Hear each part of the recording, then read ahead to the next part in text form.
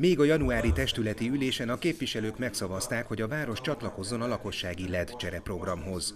Ahogy arról hírtattunk, márciusban elindult a regisztráció, így április 15-ig mindazok jelentkeztettek az akcióra, akiknek a nevére villanyszámla érkezik. Egy háztartás átlagosan 15 izzóra jogosult. Berkes Jánosné is regisztrált a programba. Miután a kérését jóvá hagyták, átvette az izzókat a Városháza ügyfélszolgálatán. Ahogy mondta, örömmel fogadták a lehetőséget, mert a LED technológia a háztartás költségeit is jelentősen csökkenti. Mindenki tudja, hogy egy ledégő nagyon drága, tetemes összegbe kerül. A másik az, hogy az energiatakarékosság nálunk is fontos, úgyhogy igyekszünk úgy gazdálkodni, illetve takarékoskodni, hogy minél kevesebb költségünk legyen ezzel kapcsolatban is. Mindezek után Berkes Jánosné le is cserélte az évüket az otthonában a modern izzókra.